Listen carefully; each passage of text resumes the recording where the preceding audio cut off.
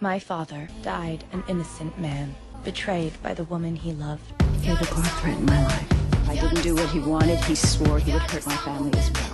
I did what I had to do to protect them. Oh, I only wish I could have done the same for the people who died in that fight. Words I approve.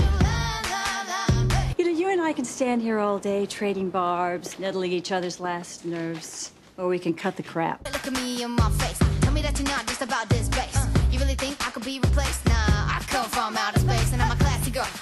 It up. You full of something, but it ain't love. And what we got straight overdue. Go find somebody new. You can buy.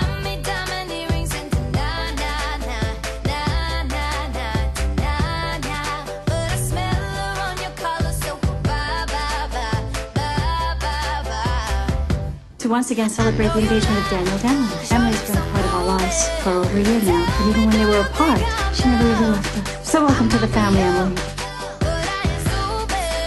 And I look forward to getting to know you better with each passing day. I'm afraid you'll never be able to conceive, Emily. You're lying. Fate can be so cruel.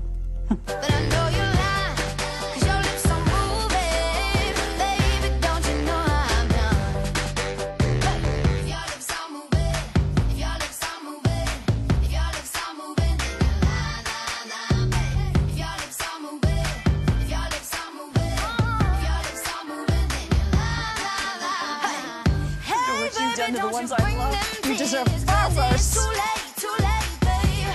Oh, hey. Because of her, my relationship with Charlotte is in ruins. My life is in shambles. I cannot entertain a future with you Not until Emily Thorne also feels the pain of this moment.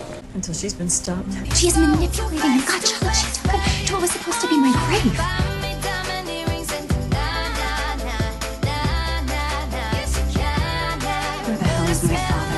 Know what I see is just a frightened woman about to lose the last person she could ever trick into loving her. And I want Pascal back. Ranting on like a lunatic for the record slaughtered Pascal, not me. As for everything else I did, I'll do it all again. But I ain't so bad. Talking round in circles with your tongue. What just happened? She got to him first. No, you're right. Hmm. Daniel's a victim, Margaux's victim. They both needed this. Feel free to delude yourself. One thing I know is that you have the blood of my son and my grandchild on your hands. Alright now, I wanna hear y'all singing with me. Here we